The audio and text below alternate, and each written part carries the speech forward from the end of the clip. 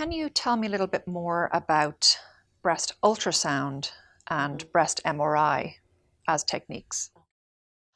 Ultrasound is a very important technique when a woman detects a mass or a clinician detects a mass. It's very important because it can really differentiate a solid mass from a fluid fill mass. The ultrasound will show if there's fluid fill, which a fluid fill mass is most likely a cyst or an abscess. A solid fill mass is which is a mass that is more likely suspicious, but what the ultrasound can also show us is if there is blood flow. So, what the radiologist and the technology um, team does first, they determine is it a fluid fill mass, is it a solid mass?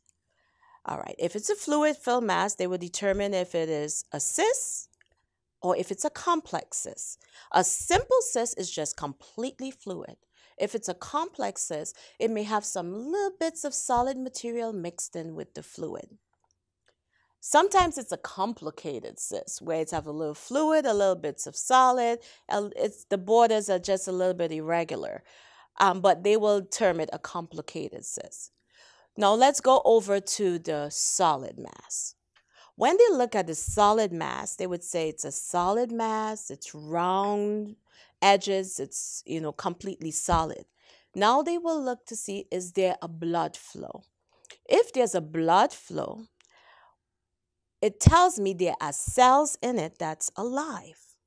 Cells need oxygen and, and circulation to survive.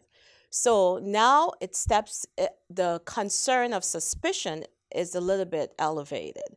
So now we, you have to determine if it's a um, if the cells looks if the tumor looks suspicious is it irregular um, how is the blood flowing so from the solid mass when there's no blood flow you can tell if it's just fibrous tissue if it's a fibroadenoma when it is blood flow that is the mass that we want to make sure that we biopsy.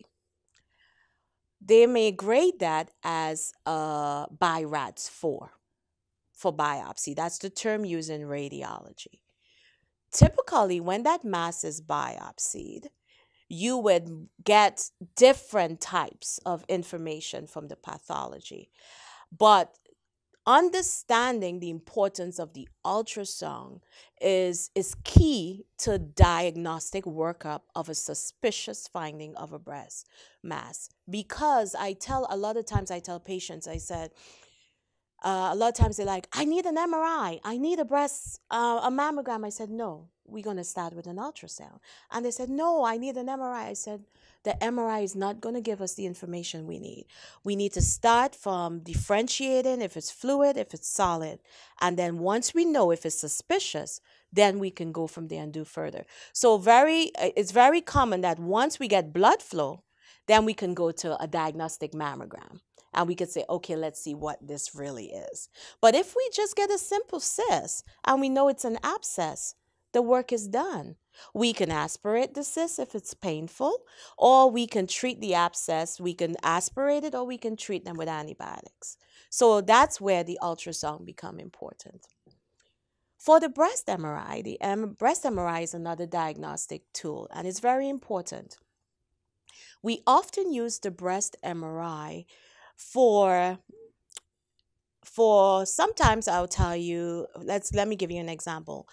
A patient may appear in clinic with a rash around the nipple, an itchy rash around the nipple. And I may do a punch biopsy of that rash and it may come back as Paget's disease. So now we have to do workup in the breast to see if there's a mass of any kind. We may do a mammogram, we may do an ultrasound, and there's no mass we will do a breast MRI because we know the MRI is more sensitive. So if there's any kind of lesion or any changes in the breast, the MRI will pick up what the mammogram did not pick up. So that's one instance we will do an MRI. Another instance we'll do an MRI is a patient has bloody nipple discharge. and we do a ultrasound, we do a mammogram looking to see if there's a dilated duct or a lesion, a common lesion that can cause a nipple discharge as a papilloma. And we're looking for this change, but we can't find it on an ultrasound or mammogram. We will go to a breast MRI and we will find that lesion through the MRI. Another reason we may do a, a breast MRI is that we may actually uh, biopsy a patient who had a BI-RADS 4 typical mass and it is a cancer and now we're planning surgery.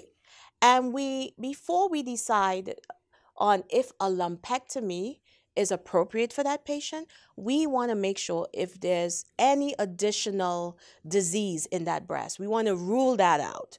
We don't want to we want to do the best surgery once so we will do an MRI to screen that breast to make sure there's no other abnor- abnormality in that breast or the contralateral or the opposite breast. And that's the reason we will do the breast MRI. So the MRI is a very good tool, but it, it should not be used as a primary screening. It should be used as a secondary screening if something is not picked up on a mammogram and an ultrasound. And I often say that because sometimes patients would say, I had breast cancer and my cancer was not picked up on mammogram. So now I want to do annual MRI. I say, no, we got to start back with the mammogram. I said, actually, we have better technology with the 3D tomo mammogram. And when you were diagnosed, you had 2D um, mammogram. So 3D is a better option for you. So always start with a mammogram and then we'll work it up that way.